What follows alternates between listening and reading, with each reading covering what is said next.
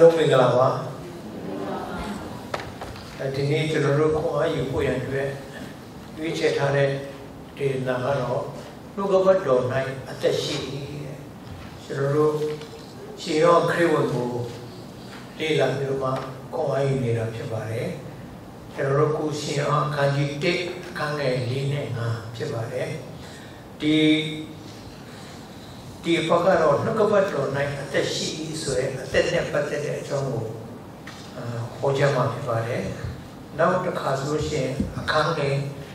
9ရှင်ရောအခန်းကြီး1အခန်းငယ်9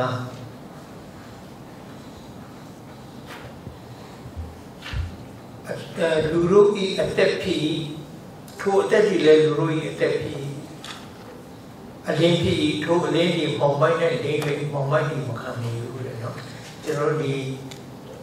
အဲရှင်ရောအခန်းကြီး1အခန်းငယ်4နဲ့5ထဲမှာဒီနေ့အခန်းငယ်4ကိုအဓိကထားပြီးတော့ဟောကြားတော့မှာဖြစ်ပါတယ်နောက်တစ်ခေါက်ကြမှာဘုရားတော်ကြီးအလင်းဆိုတာဆက်ပြီးတော့ဟောမှာဖြစ်ပါတယ်နေတဲ့နေတဲ့ဘာပြောချင်လဲဆိုလို့ရှိရင်ယခုအချိန်ကခက်ခဲတဲ့အချိန်ကဖြစ်တယ်ဒါကြောင့်မို့ကျွန်တော်တို့ရဲ့မနစ်ပြန်မသေးချဘူးမသေးချတဲ့အတွက်ကြောင့်လူတွေကစီးဝေးခြင်းရှိတယ်အာဘယ်လိုလဲ ဖျားချိုးမဖြစ်ပါမလားအဲ့ဒါမျိုးတွေအမျိုးမျိုးပေါ့လေရှိမယ်ဒါအပတ်တိုင်းရှိနေမယ်အရင်တော့ကတော့မရှိဘူးလားဆိုတော့ရှိပါတယ်ဒါပေမဲ့ကနေအခုတော့ဆက်ရက်ဆက်ရက်ဖြစ်တယ်ဖြစ်တဲ့အခါမှာဆရာတော်ဘာမှအပေးချင်လဲဆိုလို့ရှိရင်ဘုရားဝါဟောပါသူ့ကိုကိုယ်ွယ်ဖွင့်ရအတွက်ကိစ္စမှာဘုရားခင်ကအကုန်လုံးတောင်းနေတယ်ကိုယ်ကသာမှန်ပါစေ ဘုရားခင်ကတော့တောင်းကြည့်တယ်အဲ့ဒါကိုယူကြည့်ပါတယ်ဒါကြောင့်မလို့ကြောက်ရွံ့ခြင်းမရှိတဲ့နောက်တစ်ခါဆိုရင်ခြင်းမရှိတဲ့ဘုရားဟောအားကိုဘုရားလူတော်တိုင်းအသက်ရှင်ဘုရားကောင်းကြီးပေးမယ်ဘုရားကကိုယ်အသုံးပြုသွားမယ်ဆိုတာဆရာခွန်အားပေးခြင်းပါတယ်ဒီတန်းနေတဲ့မပြောချင်လဲဆိုလို့ရှိရင်အခုဒီနှုတ်ကပတ်တော်၌အသက်ရှိဆိုတဲ့နေရာမှာကျွန်တော်တို့နှုတ်ကပတ်တော်ဆိုတာက ခရစ်တော်ပဲဖြစ်တယ်နော်နှုတ်ကပတ်တော်ဆိုတာဘာလဲဆိုလို့ရှိရင်နှုတ်ကပတ်တော်ကခရစ်တော်ဖြစ်တယ်ဘယ်မှာတွေ့ရတယ်လဲယောဟန်ခန်းကြီး1အခန်းငယ်4မှာ14မှာကျွန်တော်တွေ့ရတယ်နှုတ်ကပတ်တော်ဒီလူစားတိကိုခံယူပြီးဆိုတာပါတဲ့အတွက်ကြောင့်ဒီနှုတ်ကပတ်တော်ဟာခရစ်တော်ပဲဖြစ်တယ်ဆိုတာကျွန်တော်တို့အလုံးတိမှတ်ကြတာဖြစ်ပါတယ်။နောက်တစ်ချက်ကတော့ခရစ်တော်မှာအသက်ရှိတယ်။အဲအဲ့ဒီဥစ္စာခရစ်တော်၌အသက်ရှိ အဲ့ဒါကိုကျွန်တော်တို့ဒီနေ့အဲကိုယ်ဝိုင်းမှာဖြစ်တယ်။ဆိုတော့ရှင်ယောအခန်းကြီး7အခန်းငယ်25မှာလည်းပဲအဲပြောပြောထားတာရှိပါတယ်။ဟောငါအသက်ရှင်ခြင်းကြောင့်ဖြစ်တယ်ရှင်ပြန်ထမ်းမြောက်ခြင်းကြောင့်ဖြစ်တယ်။ငါကိုယုံကြည်တဲ့လူကတည်လွန်တော်လဲအသက်ရှင်နေမယ်။အဲပြောထားတာဖြစ်တယ်ဒါကြောင့်မလို့ခရစ်တော်မှာအသက်ရှိတယ်ဆိုတော့နောက်တစ်ခုပို့ပြီးတော့မှ ရှင်းရှင်းလင်းလင်းကျွန်တော်တွေ့ရှိတာယောဟန်အခန်းကြီး20အခန်းငယ်31မှာဆိုရင်ဘယ်လိုရေးထားလဲဆိုတော့ယေရှုသည်ခရစ်တော်တည်ဟူသောဘုရားသခင်၏သားတော်ဖြစ်တော်မူသည်ကိုတင်တို့သည်ယုံကြည်မိအကြောင်းထို့သို့ယုံ၍နာမတော်အားဖြင့်အသက်ကိုရမိအကြောင်းဤများတော့ရေးထားတဲ့ရှိသည်ဆိုတော့ဒီရှင်ယောဟန်ကျမ်းကိုရှင်ယောဟန်ကရေးတဲ့အခါမှာ နော်သူကဘာယူရခြင်းနဲ့ရေးလဲဆိုခရစ်တော်ဒီဟုသောဘုရားသခင်ရဲ့သားတော်ဖြစ်တယ်ဆိုတာနံပါတ်1အဲ့ဒီခရစ်တော်ရဲ့သားတော်ဟာယေရှုခရစ်ဖြစ်တယ်ဆိုတာကိုပရမအပိုင်းတွေမှာအများကြီးထားတယ်နောက်ဆုံးမှာဆိုရင်ထို့သို့ယုံ၍နာမတော်အဖြစ်အသက်ကိုရမည်ကြောင်းအဲအဲ့ဒီအဲ့ဒီခရစ်တော်ဟာအသက်ဖြစ်တယ်အဲ့ဒီခရစ်တော်ရဲ့အသက်ကိုရဖို့ ဒီဟာကိုသူရေးတယ်လို့ရှင်ယောဟန်ကပေါ်ပြထားတာဖြစ်တဲ့အတွက်ကြောင့်ဒီနှုတ်ကပတ်တော်နဲ့ပတ်သက်ပြီးတော့နှုတ်ကပတ်တော်ဟာခရစ်တော်ဖြစ်တယ်ခရစ်တော်မှာအသက်ရှိတယ်အဲ့ဒီအသက်ကိုယုံမယ်ဆိုရင်ထာဝရတက်ရတယ်အဲ့ဒါဒီကျမ်းကလူချင်းတဲ့အရာဖြစ်ပါတယ်ဒီနေ့ကျွန်တော်တို့ခရစ်တော်၌အသက်ရှိကြောင်းနဲ့ပတ်သက်ပြီးတော့ခွန်အားယူစရာခရစ်တော်နဲ့ နိုင်အသက်ရှိကြောင်းပတ်သက်ပြီးတော့ခွန်အားယူစရာနံပါတ်1ချက်ကတော့ခရစ်တော်ကနော်ခရစ်တော်ကဘာပြောလဲဆိုရင်နံပါတ်1ခရစ်တော်သည်ခမည်းတော်သည်ကိုယ်၌အသက်ရှိတော်မူသည့်ဤသူသားတော်သည်မိမိ၌အသက်ရှိရသောခွင့်ကိုပေးတော်မူ၏ခရစ်တော်ကပြောတဲ့စကားဖြစ်တယ်နော်ခမည်းတော်သည်ကိုယ်၌အသက်ရှိတော်မူသည့်ဤသူ သားတော်သည်မိမိ၌အသက်ရှိရသောခွင့်ကိုပေးတော်မူ၏တဲ့အဲ့ဒါယောဟန်ခန်းကြီး9:16ဆရာကအမြဲတမ်းစဉ်းစားတယ်ခရစ်တော်မှာအသက်ရှိတယ်ဆိုတာဟာဘာတိပဲဘသူကပေးရလဲအဲ့ဒီအသက်နော်ဘာလို့ခရစ်တော်ကသူပြောတဲ့ခါငါငါငါလို့လည်းပြောသေးတယ်ဆိုတော့အဲ့ဒီခရစ်တော်မှာအသက်ရှိတယ်ဆိုတာဘယ်ကျမ်းပိုက်မှာများရှိမလဲလို့ဆရာကအမြဲတမ်း ဟိုစိတ်ထဲမှာရှိတာပေါ့နော်အဲ့တော့ဒီကျမ်းပိုက်ဒီဒီထောင်တရားဟောမယ်ဆိုတဲ့ခါကျတော့တခါတည်းအဲ့ဒီရှင်ရောအကျမ်းကိုဖတ်လိုက်တဲ့အခါမှာဒီရှင်ရောအခန်းကြီး9အခန်းငယ်26ကခရစ်တော်ကတိတိလေးလေးပေါ်ပြထားတယ်ခမည်းတော်ဒီကိုယ်၌အသက်ရှိတော်မူသည်ဤသူခရစ်တော်မှာအသက်ရှိတဲ့ဤသူသားတော်ဒီမိမိ၌အသက်ရှိရသောအခွင့်ကိုပြီးတော့ခမည်းတော်သားတော် တန်ရှင်းသောဝိညာဉ်တော်သုံးပါးတဆူကိုဆိုတော့သုံးပါးတဆူမှာခမည်းတော်ကအသက်ရှိတယ်ဆိုရင်အလိုလျောက်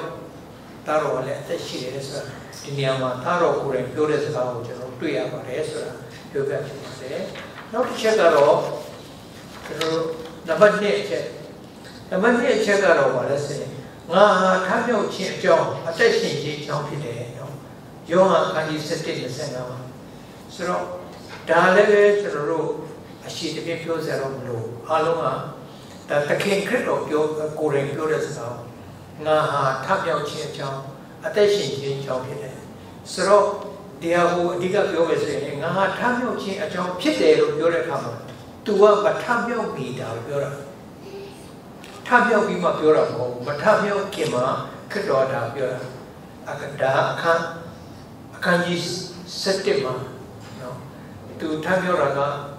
နောက်ပိုင်းမှာထမြောက်တာဆိုတော့မထမြောက်ခင်ကလေးကငါဒီထမြောက်ခြင်းအကြောင်းဖြစ်တယ်ပြီးတော့မှအသက်ရှင်ခြင်းအကြောင်းဖြစ်တယ်ပြောတယ်ဆိုတော့ငါဒီထမြောက်ခြင်းအကြောင်းဖြစ်တယ်လို့ပြောတဲ့အခါမှာ तू ကမထမြောက်ခင်လာဇရုလာဇရုတေရာ၄ရက်ရှိသွားပြီယူရဒုစအရာတကယ်တည်သွားပြီအဲ့ဒါကိုသူအရှင်ပြန်ထမြောက်ခိုင်းတယ်ဒါကခရစ်တော်ကဒီအသက်ရှိတဲ့အကြောင်း သူမှာအသက်ပြီးပိုင်တဲ့အရှင်ဖြစ်တဲ့အကြောင်းကိုအဲ့ဒါမှသူပြတယ်ပြီးတော့သူကိုယ်ရင်ကြတော့အဲသူခရိုက်ပေါ်မှာအသေးခံပြီးတော့၃ရက်မြောက်မှာသူကတေချင်းကနေပြီးတော့ရှင်ပြန်ထမြောက်တယ်ဆက်ထမြောက်ပြီးတော့မှရက်ပေါင်း40သူ့ရဲ့တပည့်တော်များတဲ့အတူသူအသက်ရှင်ပြီးတော့ကောင်းကင်ဘုံပြန်ကြောက်ပါတယ်ဒါကြောင့်မလို့ခရစ်တော်ကသူဖြစ်တဲ့အစား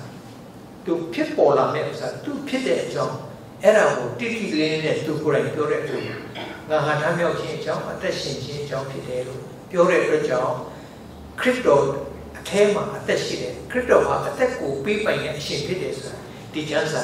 ကျမ်းချက်တွေအားဖြင့်သိရပါတယ်။နောက်တတိယအချက်ကတော့ဘယ်လိုပေါ်ပြထားလဲဆိုရင်တတိယအချက်မှာ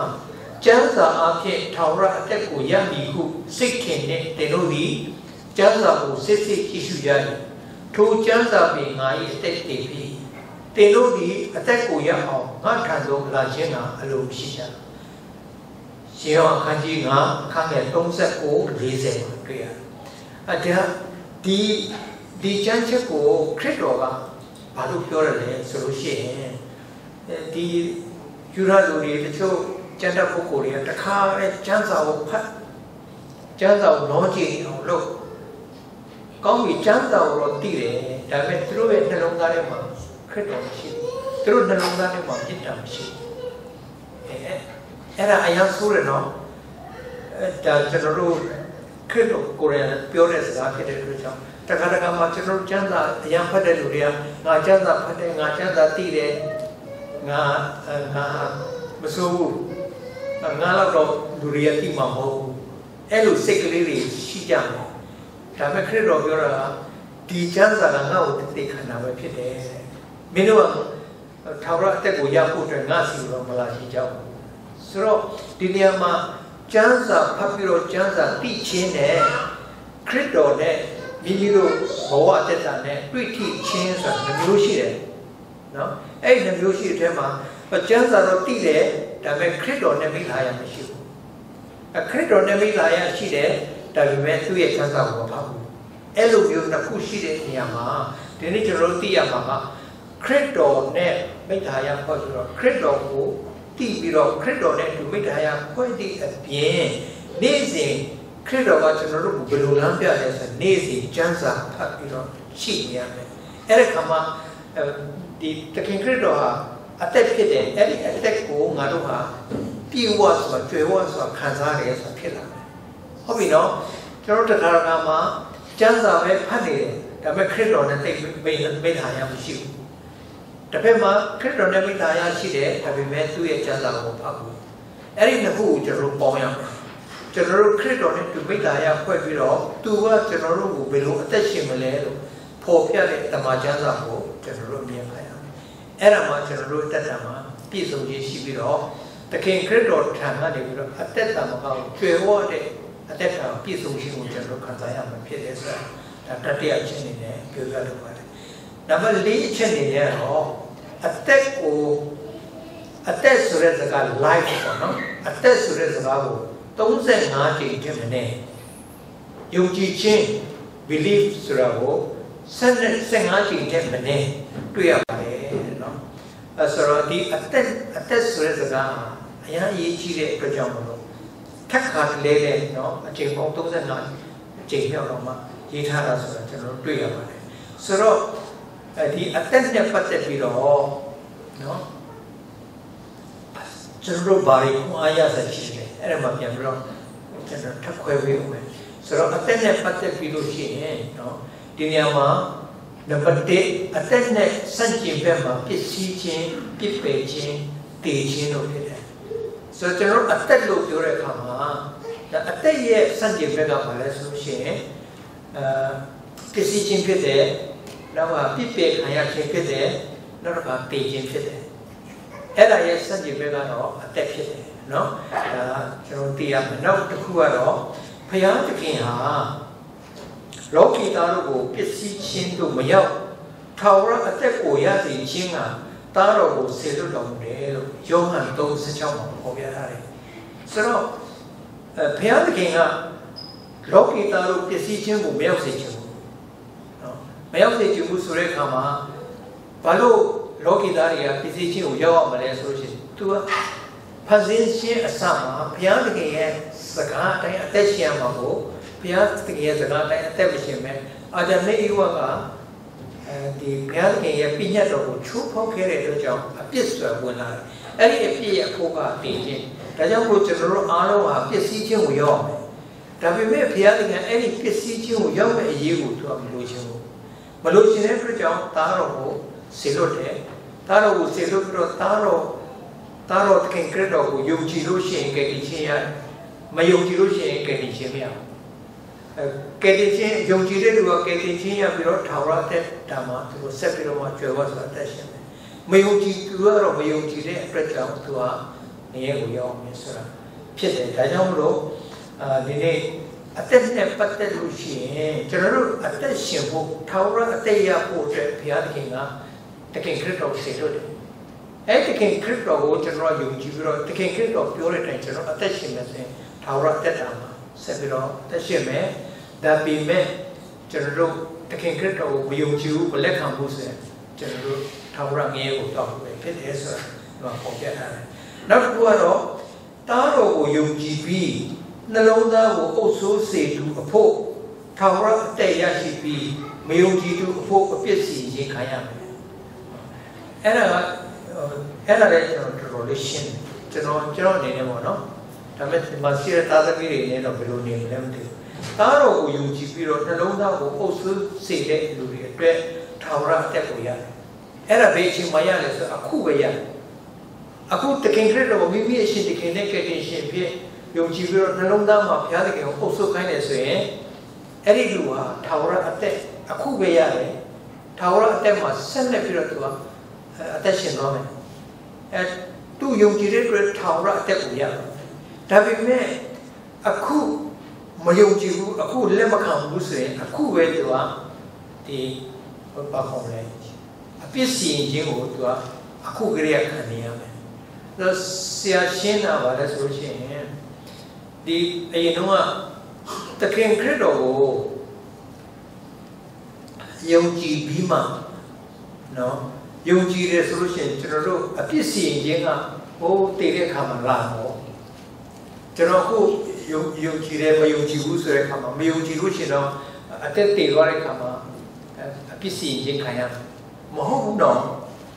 အခုတခင်ခရစ်တော်ယုံကြည်စင်အခုပဲထောင်ရတဲ့ရရှိတယ်ထို့အတူပဲအခုမယုံကြည်ဘူးဆိုရင်အပစ္စည်းချင်းရဲ့အဖို့ကအခုပဲခံခံစားရမှာဖြစ်တယ်။ဟိုငရေရောက်မှခံစားအောင်မဟုတ်တခင်ခရစ်တော်မရဘူးဆိုရင်အဲ့ဒီအချိန်ကလေးကနေစပြီးတော့စသွားပြီ။အဲ့ဒီငရေကစတယ်။ အဲ့ဒါဒါဒါကြောင့်အရေးကြီးတယ်ဒီအခုအချိန်ခါမှာကမ္ဘာလုံးကရည်ထဲမှာတခင်ခရစ်တော်ကိုတကယ်မရထားတဲ့လူကတော့ပစ္စည်းချင်းနဲ့ဒုက္ခဆင်းရဲနဲ့အဲ့ဒီအဲမှာပဲခါသူကအသက်ရှင်နေတယ်ဆိုတာသိရမယ်။ဒါပေမဲ့အခုပဲသခင်ခရစ်တော်လက်ခံတယ်အခုပဲသခင်ခရစ်တော်ပြောတဲ့အတိုင်းနဲ့အသက်ရှင်နေဆိုတော့ထာဝရအသက်ကိုမီးစမ်းလို့ရနေတယ်ဆိုတာဒီညမှာ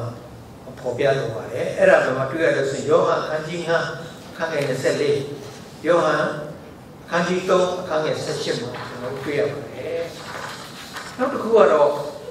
ဘာလဲဆိုလို့ရှိရင်ခရစ်တော်ကိုမရတော့သူကခုနကတော့ခရစ်တော်ကိုရတယ်အခုအခုဆက်ပြီးပြောတော့ခရစ်တော်ကိုမရတော့သူပါတဲ့လူအဖြစ်တော့ ရှင်ရပါတယ်တဲ့ life exist exist ဆိုတာအသက်ရှင်ဖြစ်တာเนาะဆိုတော့လူအဖြစ်ကတော့အသက်ရှင်ရပါတယ်ဒါပေမဲ့သို့တော့ tower အသက် eternal life ကိုတော့မရရှိပါဘူးအဲ့တော့အင်္ဂလိပ်စကားနည်းနည်းကြည့်လို့တော့အေဟန်ရှင်းတယ်တခုက exit တခုက eternal life ဆိုတော့ခရစ်တော်မရတဲ့လူကတော့လူလောကမှာလူလူလူဆိုတဲ့ အဖြစ်ပဲဖြစ်နေတာလူဆိုတဲ့အဖြစ်ပဲဖြစ်နေတယ်ဒါပေမဲ့ကခရစ်တော်ကိုမရတဲ့အတွက်ကြောင့်သူက eternal life ဆိုတဲ့ဘုရားသခင်ပေးတဲ့အသက်ဝိညာဉ်အသက်သူကမရှိဘူး eternal life ကိုသူမရဆိုတော့ကျွန်တော်တို့ရှင်ရှင်ရောမှာအကျမ်းအရာကျွန်တော်တို့လူလောကမှာတန်ဖိုးထားတဲ့အရာဟာ existed မဟုတ်လူအဖြစ် လူအဖြစ်ပဲအသက်ရှင်တာမဟုတ်လူဘဝအသက်တာမှာလူလူဖြစ်ပြီးတော့ဘုရားသခင်ပေးတဲ့ဝိညာဉ်အသက်ရရှိတဲ့ eternal life ကအဓိကကျွန်တော်ထားတာဖြစ်တာကိုဒါကြောင့်မလို့သူကဒီလူလောကမှာခရစ်တော်ကိုရချင်းနဲ့မရချင်းမှာပေါ်သွားတယ်မရလို့ရှိရင် existence ဆိုတဲ့အသက်ရှင်ခြင်းတက်တက်ပဲရှိတယ်ထာဝရတက်မရနိုင် တခင်ခရစ်တော်ကိုရတဲ့အခါမှာထာဝရတက်ရတယ်ဆိုတာကျွန်တော်တို့အသက်နဲ့ပတ်သက်ပြီးတော့ဒါအမြဲတမ်းအရေးကြီးတယ်ဆိုတဲ့အကြောင်းဖော်ပြလိုပါတယ်နောက်ဆုံးအချက်နံပါတ်1ကတော့ဘာလဲဆိုရင်ခရစ်တော်ဘုရားသခင်ဤခမည်းတော်ဘုရားသခင်ဤအလိုတော်မှာတဲ့နော်ခမည်းတော်ဘုရားသခင်အလိုတော်မှာတားတော်ကိုကြည်မြင်တော်သူရှိသမျှထာဝရအသက်ကိုရစေခြင်းကအလိုတော်ရှိတယ် နော်ရှေးယောဟန်ခန်းကြီး6ခန်းငယ်40မှာပေါ်ပြထားတယ်ဆိုတော့ဒါကကျွန်တော်တို့ဘုရားသခင်ကကျွန်တော်တို့ကိုဘာအလိုရှိတယ်လဲဘုရားသခင်ရဲ့အလိုတော်ဘယ်လိုနေမလဲလို့ပြောတဲ့အခါမှာဘုရားသခင်ရဲ့အလိုတော်ကတားတော်ကိုကြည်မြင်တော်သူတိုင်းထာဝရအသက်ကိုရရှိစေခြင်းကအလိုတော်ရှိတယ်အဲခရစ်တော်ရှိတယ်လူလောကမှာဖွားမြင်တဲ့ခရစ်တော်အသက်ရှင်တဲ့အဲ့ဒီဟာကိုတည်ပြီးတော့ အဲ့ဒါကိုယုံကြည်ပြီးတော့ထာဝရအသက်ကိုရစေခြင်းဒါကဘုရားသခင်ရဲ့အလိုတော်ဖြစ်တယ်နော်ကျွန်တော်အသက်တာမှာဒီနေ့ဘုရားသခင်ရဲ့ကျေးဇူးတော်ကိုချီးမွမ်းတဲ့အခါမှာဆရာအနေနဲ့ချီးစွာတော်ချင်မှာဆရာမဘာမှမရှိဘူးနော်လောကအရာဆိုဘာမှမပြည့်စုံပါဘူးဒါပေမဲ့အခုစိတ်ထဲမှာခရစ်တော်ရတဲ့အတွက်ကြောင့်အကုန်လုံးကကြည်တတ်နေတယ်ကြည်တတ်နေတယ် ကမ္ဘာလောကကြီးမှာလူတွေကတိုက်နေတာနဲ့ကားနဲ့ပါနဲ့နေကြအဲသူတို့ဟာသူတို့ကြတော့ဒီလူတွေနဲ့ငါကြတော့ဒီလူမနေအောင်အဲ့လိုမျိုးစိတ်လည်းမရှိဘူးဆရာမဆဆရာမတကအထဲမှာခရစ်တော်ရှိနေတဲ့အတွက်ကြောင့်ကြည်နှံ့နေတယ်ငါအခုအခုအသက်ရှင်နေတဲ့အချိန်ခါမှာခရစ်တော်နဲ့အတူအသက်ရှင်ရတယ်ငါတည်တဲ့အခါမှာလည်းကောင်းတဲ့ဘုံမှာခရစ်တော်နဲ့ဆက်ပြီးတော့အသက်ရှင်ရမယ်ထာဝရအသက်ရတယ် အဲ့ဒါကကြည်နှံ့မှုရှိနေတယ်ကမ္ဘာလုံးမှာကြီးတဲ့လူတွေဘလောက်ပဲရှိနေပါစေသူတို့ကိုသူတို့လိုဖြစ်ချင်တဲ့စိတ်ဓာတ်လည်းမရှိဘူးနော်သူတို့အဲ့လိုဖြစ်လို့လည်းသူတို့တွေကိုလည်းဘာမှဟိုစိတ်ထဲမှာသူတို့ဖြစ်တယ်လို့ဖြစ်နေတယ်ပဲ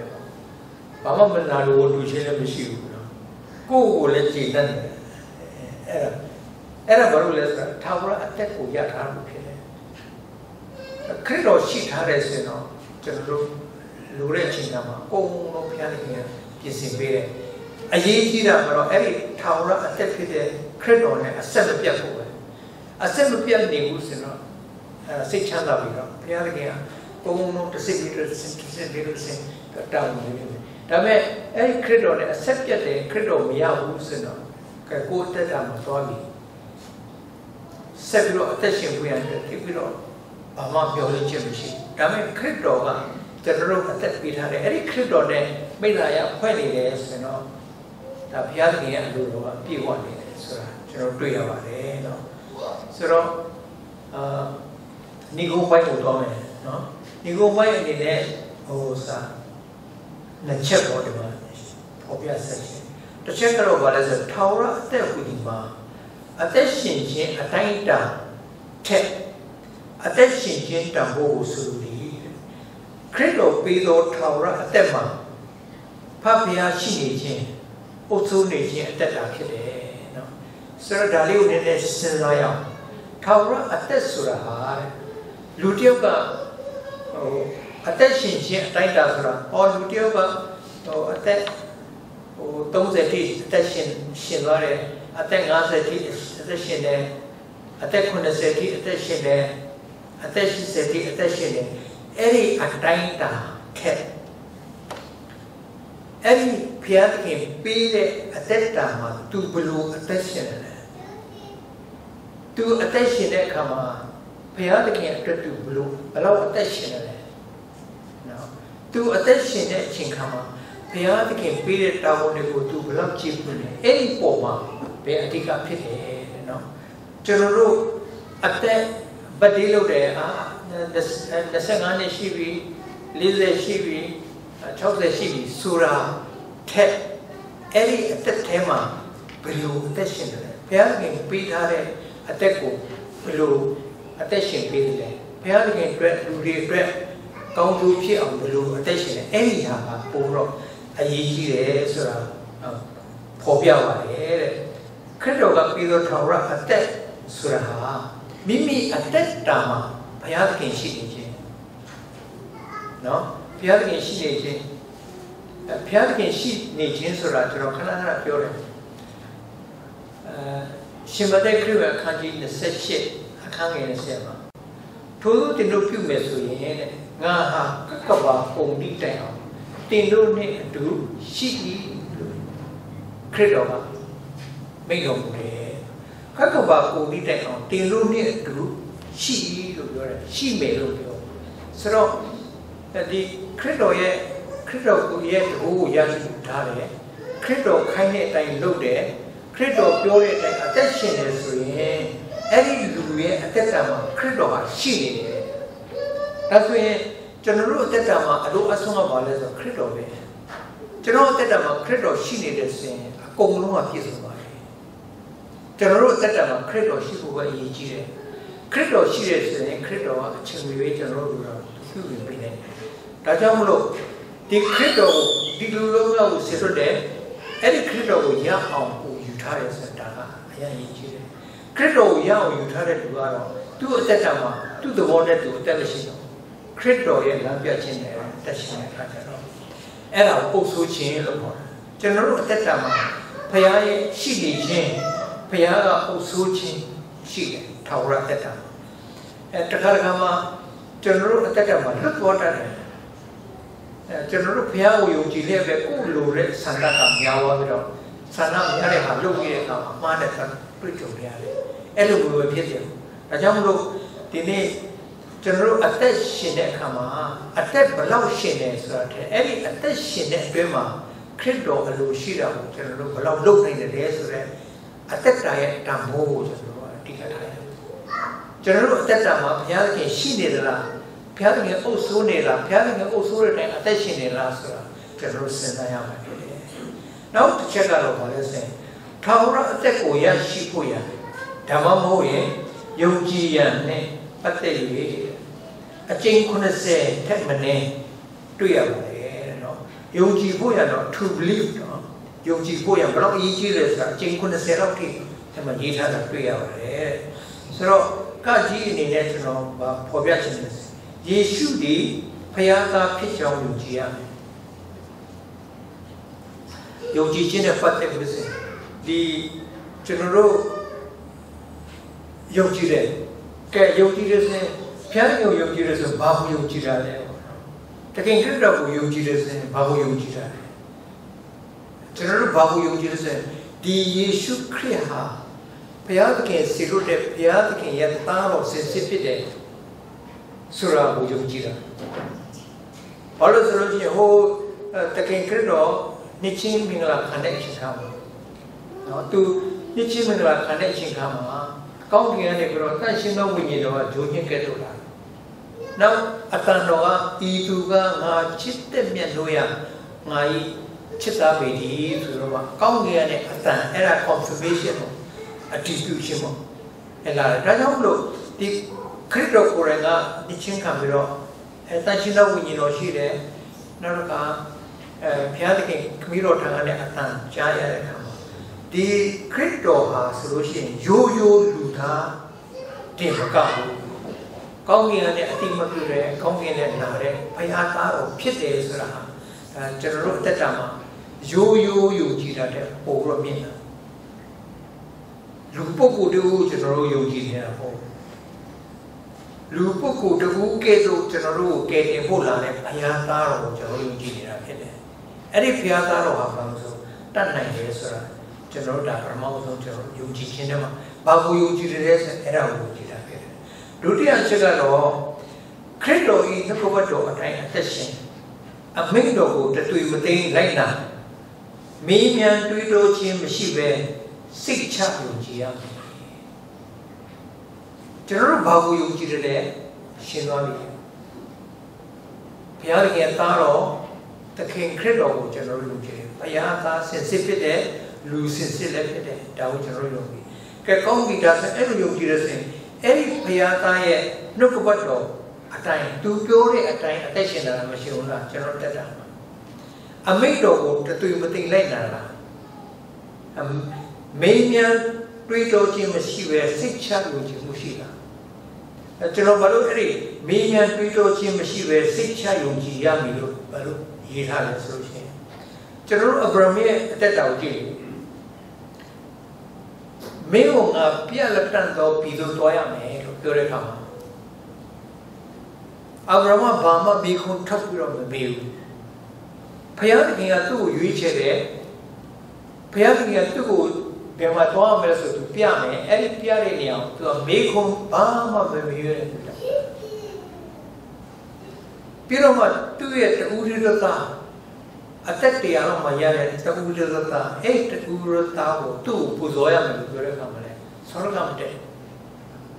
ဆောရကမတက်မတက်တဲ့အတွက်ကြောင့်မလို့တင်းဒီငါပြောတဲ့စကားကိုမငင်းတဲ့အတွက်ကြောင့်မင်းကငါအမိပေးတော့မင်း မငင်းတဲ့အတွက်ကြောင့်မင်းဘူးမထုတ်တဲ့အတွက်ကြောင့်မင်းပေါ်မှာငါဂရိတိမဲ့ထာဝရမင်းကိုကောင်းချီးမင်္ဂလာပေးမယ်ဘုရားသခင်ကသူ့ရဲ့ပြောတာဒါကြောင့်မလို့ကျွန်တော်တို့ဒီနေ့အဲခရစ်တော်မှာအသက်ရှိတယ်ခရစ်တော်မှာအသက်ရှိတယ်ဘာလို့အသက်ရှိတယ်သူဟာဆိုလို့ရှိရင်ဘုရားသားဖြစ်တယ်ပြီးတော့အသက်ရှိတယ်အဲ့ဒီအသက်ကဒီလူလောကရဲ့အသက်ရှင်ခြင်းနှစ် 50 30ရှင်တယ်အဲ့ဒီအသက်မဟုတ်ဘုရားသခင်ပေးထားတဲ့ဇီဝအသက်အဲဘုရားသခင်ရဲ့ဝိညာဉ်အသက်ရှိဒါကြောင့်အဲ့ဒီအသက်ရှိတဲ့အတွက်ကြောင့်ငါဟာရှင်ပြန်ထမြောက်ခြင်းကြောင့်ဖြစ်တယ်ငါဟာအသက်ရှင်ခြင်းကြောင့်ဖြစ်တယ်ဒါကြောင့်မို့ကျွန်တော်တို့ရဲ့အသက်ရှင်ခြင်းတည်ခြင်းကိုစီရင်ပိုင်တဲ့တကူရှိရဖြစ်ပါဒါကြောင့်အဲ့ဒါကိုကျွန်တော်တို့ယုံကြည်တာဖြစ်တယ်ကကဲအဲ့ဒါယုံကြည်တဲ့ဆိုရင်ကျွန်တော်တို့နေ့စဉ်အသက်တာမှာ တခြားဘာမှအဓိကထားဖို့မဟုတ်တော့ဒါကြောင့်လို့ဒီဆရာတို့ရဲ့ဒီ bulletin မှာထာဝရဘုရားသခင်ကိုမိမိအသက်တာမှာနံပါတ်1နေရာထားကြစို့အဲ့ဒါရည်ထားတာအဲ့ဒါဖြစ်တယ်အဲ့ဒီအသက်ဆိုတဲ့ဘုရားသခင်ကိုကျွန်တော်ရထားပြီအသက်ရှင်ပြီဆိုရင်ကျွန်တော်တို့အသက်တာမှာနံပါတ်1ခရစ်တော်ပဲနံပါတ်2ခရစ်တော်ပဲနံပါတ်3ခရစ်တော်ပဲဘာမှမရှိရ ။ဒါကြောင့်မလို့ကျွန်တော်တို့အသက်တာမှာနှုတ်ကပတ်တော်တိုင်းအသက်ရှင်နေလားကိုယ့်ကိုယ်ကိုဆန်းစစ်ပါ။အဲအမိတ်တော်ကိုတသွေမသိမ့်လိုက်တာကဆန်းစစ်ပါ။အဲဖျားသခင်ပေါ်မှာတန်တရားရှိပြီးတော့မိခိုးတွေထုတ်လာကိုယ့်ကိုယ်ဆန်းစစ်ပါ။တကယ်လို့အဲ့ဒါလုံးဝမရှိဘူးနော်။ဖျားသခင်ကိုတရားမှတရားအပြတ်ယုံကြည်တယ်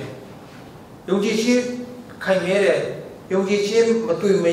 မတိမ်ဘူး။ဒီဖျားကိုဒီ ရားတရားမှတရားယုံကြည်တယ်ဆိုရင်အဲ့လိုယုံကြည်ပြီဆိုရင်ဘုရားဘက်ကနေပြီးတော့ကျွန်တော်အပေါ်မှာတရားမှတရားတောင်းယူမယ်အဲ့ဒါကျွန်တော်ယုံကြည်ချက်ကျွန်တော်ယုံကြည်ချက်ပဲဒါကြောင့်မလို့ပြင်ပြမှာအေဝံဂေလိဟောတဲ့အခါမှာဟေ့ငါအခုအသက်80ရှိပြီငါအသက်80အထိကဘာအလုပ်မလုပ်ဘုရားလုပ်ပဲလုပ်တယ်ဒီနေ့ဒီဘုရားငါ့ကိုကျွတယ်နောက်လည်းဘုရားကျွမယ် အဲ့တော့ငါအသက်တန်တဲ့ငါမင်းတို့ဒါပြောပြတယ်အဲ့ဒီပြင်ကပြောတဲ့ဘာမှမရှိဘူးဒါကြောင့်ခရစ်တော်ကိုယုံကြည်ပါအဲ့ဒါဆရာကအေဝံဂေလိလုပ်တဲ့အခါမှာအဲ့လိုပြောတယ်ဒါတကယ်အသက်ရှင်ခြင်းပဲလေအခုဆရာအသက်80အထိရှိပြီကျွန်တော်ဘာဘာမှမလုပ်ဘုရားသခင်ရဲ့တရားတော်မြတ်ကိုဟောတယ်လူတွေကိုဘုရားသခင်ရဲ့အကြောင်းပြောပြတယ်ဘုရားသခင်ရဲ့လမ်းကိုပြတယ်သူတို့လိုက်လာရင်လိုက်လာအိမ်တော့ကတော့လူကိုနည်းနည်းအားလာတယ် အခုနောက်ပိုင်းမှာယုံကြည်ခြင်းတကယ်ရှိတဲ့အခါမှာလူကိုအားနာမနေတော့အပြတ်ပြတ်လို့ပြောပြောတယ်ဆိုတော့ပြောချင်တာဘာလဲဆိုရင်ဒီနေ့အဓိကအချက်ကတော့နှုတ်ကပတ်တော်ဆိုတာဟာလူစားတိကိုခံတယ်လို့ပေါ်ပြတဲ့အတွက်ကြောင့်နှုတ်ကပတ်တော်ဟာခရစ်တော်ပဲဖြစ်တယ်အဲ့ဒီခရစ်တော်မှာအသက်ရှိတယ်အဲ့ဒီအသက်ကဘသူကပေးတာလဲသူဟာဘုရားဖြစ်တဲ့အတွက်ကြောင့်ခမည်းတော်မှာအသက်ရှိတယ်လို့သူဟာလည်းပဲ automatic အသက်ရှိနေတာဖြစ်တယ်သူအသက်ရှိတဲ့အတွက်ကြောင့်သူရှင်ပြန်မထမြောက်ခင်ကလေးကငါဟာရှင်ပြန်ထမြောက်ခြင်းကြောင့်အဗြဟံမဖြစ်ခင်ကလေးကငါဖြစ်တယ်ဒါဒီဒီစကားတွေသူပြောတာဘာလို့ပြောရလဲဒါမှမဟုတ်ငါဟာလန်ခီငါဟာတမတရားငါဟာအသက်ဖြစ်တယ်ငါမှငါစီမမလာဘူးဆိုရင်ခမဲတို့ထံမရောက်အောင်လို့သူကဘာလို့ပြောရလဲဒါကအသက်ရှိတဲ့ပုဂ္ဂိုလ်ဖြစ်တဲ့အတွက်ကြောင့် ဒါကြောင့်မို့ဒီနေ့ကျွန်တော်တို့ခရစ်တော်ကိုယုံကြည်ရခြင်းဖြစ်တယ်သူကကျွန်တော်တို့အသက်ရှင်ဖို့ပေးနိုင်တယ်အသက်တည်ဖို့ပေးနိုင်တယ်ကျွန်တော်ဒီနေ့ချမ်းသာဖို့ပေးနိုင်တယ်ဆင်းရဲဖို့ပေးနိုင်တယ်အဲဒုက္ခဆိုတဲ့အနာရောဂါပေးနိုင်တယ်ကျမ်းမာခြင်းဆိုတာဘုရားရှင်ပေးနိုင်တယ်ဒါကကျွန်တော်တို့ဒီအသက်ရှိတဲ့အကြောင်းကျွန်တော်ပြောရတယ်ဒါဆိုရင်အဲ့ဒီအသက်ရှိပြီဆိုရင်အသက်ရပြီဆိုရင်အဲ့ဒါကိုကျွန်တော်တရားမှတရားလိုက်နိုင်ရမယ် မေကိုထုတ်เสียမရှိဘူးကျွန်တော်တို့ဘုရားကိုတကယ်ပဲယုံကြည်ပြီးတော့တရားမှတရားလိုက်လျှောက်တယ်ဆိုရင်ဘုရားတကယ်ဘက်ကတာဝန်ကြီးကျွန်တော်တို့ဘက်ကလည်းပဲတာဝန်ကြီးပဲဆိုရင်အရာအလုံးကပြီးသွားပြီဘာမှစိုးရင်စရာမရှိဘူးဘာမှကြောက်စရာမရှိဘူးဘာမှတွေးပူစရာမရှိဘူးအားလုံးဟာဘုရားသခင်အစဉ်ပေးမယ်ဒီနေရာမှာတစ်ချက်တော့ဆရာနောက်ဆုံးအနေနဲ့ပြောချင်တယ် တချို့တွေဘာပြောလဲဘုရားသခင်အလိုလိုတိုင်းပဲဘုရားသခင်ကဘုရားသခင်အထားတယ်ပါဇာနဲ့ပဲအထားတာမဟုတ်မဟုတ်ဆရာတကယ်ပဲကိုယ့်ဘက်ကလည်းပဲလိုက်နာရမယ်ကိုယ့်ဘက်ကလည်းပဲအာမြစ်တာဆိုတော့တုံ့ပြန်ခြင်းရှိတယ်ကိုယ့်ဘက်ကလည်းပဲဘုရားသခင်ရဲ့အလိုတော်ကိုလိုက်စောက်တဲ့အပိုင်းမှာပါမယ်တချို့တွေကနော်ပြောမယ်ဆိုရင်ဟိုဘုရားသခင်ကိုတရားမှတရားယုံကြည်ခြင်းကတိတ်မရှိဘူးဖြစ်နေတယ် ဟိုယုံကြည်ခြင်းရှိတယ်ဒါပေမဲ့လက်တွေ့အသက်တာနည်းနေတယ်နည်းနေတဲ့ခါမှာဆရာစိုးရင်လည်းဘာလို့ဆိုတော့ကိုယ့်ဘက်ကအားနေနေတာကိုအားနေနေတဲ့ခါဘုရားသခင်ကကိုယ့်ကိုကောင်းကြီးအပြည့်ပေးမလားမပေးဘူးလားအဲ့ဒီပေါ်မှာစိုးရင်နေတယ်ဥပမာဆိုလို့ရှိရင်အဲကဲတင်ချင်းမှလူတွေအတူတူပဲဒါပေမဲ့ကောင်းကောင်းကြီးမင်္ဂလာကြတော့မတူဘူးတူမှာမဟုတ်ဘာလို့မတူလဲဆိုလို့ရှိရင်ကျွန်တော်တို့ဘုရားခင်ကို 90ရာခိုင်နှုန်းယုံကြည်တဲ့လူနဲ့ဘုရားခင်ကို100ရာခိုင်နှုန်းယုံကြည်တဲ့လူနဲ့ကောင်းကြီးမင်္ဂလာမတူနဲ့သူက90ပဲယုံကြည်တာလေ90ပဲရမယ်100မှာ100ယုံကြည်တဲ့လူက100မှာ100ရမယ်အဲ့ဒီကောင်းကြီးမင်္ဂလာမတူဘူးအဲ့ဒါကြောင့်မလို့ကျွန်တော်တို့ဘက်ကယုံကြည်ခြင်းအားနေပြီးတော့ကျွန်တော်တို့ဘက်ကလိုက်လျှောက်ခြင်းအားနေမယ်ဆိုရင်ဘုရားသခင်ရဲ့ကောင်းကြီးမင်္ဂလာနဲ့ကွဲကားမှုကတိတ်ဆိတ်မချဘူးလို့ဆရာအဲ့လိုပဲစိတ်ကြည့်တာ ဒါပေမဲ့ဘုရားသခင်ရဲ့စကားကိုတရားမှတရားယုံကြည်ပြီးတော့ကိုယ့်ရဲ့လိုက်လျှောက်မှုအသက်တာလည်းပဲဘုရားသခင်ကိုအပြည့်အဝပေးတယ်ဆိုရင်ဘုရားသခင်ရဲ့ကောင်းချီးမင်္ဂလာတော့အပြည့်အဝရှိပြီးသားပဲယုံကြည်ပါဘုရားသခင်ကငါ့ကိုလုံးဝတောင်းယူမယ်လို့နော်တစ်ချက်ပဲနောက်ဆုံးလည်းပြောပြရစီ6မိနစ်တော့ကြောပါကျွန်တော်30မိနစ်မှရမယ်အဲ့ဒီမှာဘာလဲဆိုလို့ရှိရင် ကျွန်တော်တို့အတင်းတော်ကတမီးလေးတယောက်ပဲဆရာဘတော်ကလွန်ခဲ့တဲ့တနင်္လာနေ့ကနေပြီးတော့တောက်ကြလေးဒီအဆက်မပြတ်ဆူတောင်းမယ်သူစင်လုံးပြောလဲအောင်ဆိုတော့ဆရာတော်ကဦးဆောင်ပြီးတော့ဆူတောင်းကြတယ်ပေါ့ညလည်းညလည်းအဲတောက်ကြလေးဒီဆူတောင်းစနေနေ့ကျတော့အဲ့ဒီတမီးလေးကဖုန်းဆက်တယ်လုံးဝဖုန်းမဆက်ဘူး လုံးဝ contact မလုပ်ဘူးပြောနေတဲ့ဆရာကတပီးလေးအဖေမေနဲ့အဖေမေတို့သဘောထားပါစကားပြောပါအဲအရာတော့မှအဆင်ပြေပါမယ်အတင်းတော့တပီးပြောရှိတယ်လို့ပြောပေမဲ့ကဘာမှမလားဒါပေမဲ့အဲ့ငါးရက်ဆုတောင်းပြီးတော့မနေရဘူးဖုန်းဆက်လာဆရာကဆရာကိုစကားပြောလို့ရမလားဆရာအားမလားဆိုတာ အားရဖို့ချစ်ချင်းမဲ့တူနဲ့စကားပြောခဲ့တယ်အဲဆိုတော့ဘုရားသခင်ကိုယုံကြည်ပြီးတော့ဆုတောင်းတဲ့အခါမှာနော်ငါးရက်ပဲတလားတော့မဟုတ်ဘူးနှစ်လလည်းမဟုတ်ဘူးတော့ချစ်ချင်းမဲ့ခါတဲ့ response လာတယ်အဲဒါကြောင့်လို့ဆရာတော်လည်းပြောတယ်ဆရာလည်းပြောတယ်အော်ဘုရားသခင်ဟာတကယ်ပဲဘုရားသခင်ဘက်ကတော့တကယ်ပဲတာဝန်ကြည့်တယ်ကိုယ့်ဘက်ကကြည်ဖို့ပဲရည်ကြီးဒီနေ့ဘာလို့ ကိုကိုလိုချင်တာကိုရည်မှန်းချက်တွေမပြည့်စုံတယ်လဲဆိုတော့ကိုယ့်ဘက်ကလုံနေတယ်အဲ့ဒါဘာလဲဆိုတော့ကိုယ့်ဟာကိုယ်စမ်းစစ်ကြည့်အဲ့ဒီစမ်းစစ်တဲ့နေရာမှာကိုယ့်ရဲ့ယုံကြည်ခြင်းကိုစမ်းစစ်ကြည့်လိုက်အဲ့ဒီကမှတည်တာလာလိမ့်မယ်ဒါကြောင့်မလို့ဒီနေ့အဲနှုတ်ကပတ်တော်၌အသက်ရှိတယ်ဆိုတဲ့အခါမှာနှုတ်ကပတ်တော်ဟာခရစ်တော်ပဲအဲ့ဒီခရစ်တော်ထဲမှာအသက်ရှိတယ်ဘာလို့လဲသူကဘုရားသားဖြစ်တော့အသက်ရှိတယ်ဒါကြောင့်မို့သူမတည်ခင်ကလေးကသူကအသက်အကြောင်းကိုပြောတာဖြစ်တယ်ဒါကြောင့်မလို့ အသက်ကိုပေးပိုင်တဲ့အရှင်ဖြစ်တဲ့အတွက်ကြောင့်ကျွန်တော်တို့ထက်ကအဲ့ဒီအသက်ကိုပေးပိုင်တဲ့ဘုရားရဲ့စကားကိုအတက်နဲ့ဆုံးလိုက်နာမယ်ဆိုရင်ဘုရားသခင်ဘက်ကကျွန်တော်တို့ပြီးပြည့်စုံစွာကြည့်ရှုပြီးသားဖြစ်တယ်ဆိုတာဒီနေ့ကျွန်တော်တက်သိခိုင်းနေကျွန်တော်ပြောလိုပါတယ်ကျမ်းစာတော်သူပေါင်းလို့ထာဝရဘုရားသခင်ထံမှာအတစ်တော်ဝိညာဉ်ခွန်အများရရှိကြပါစေ။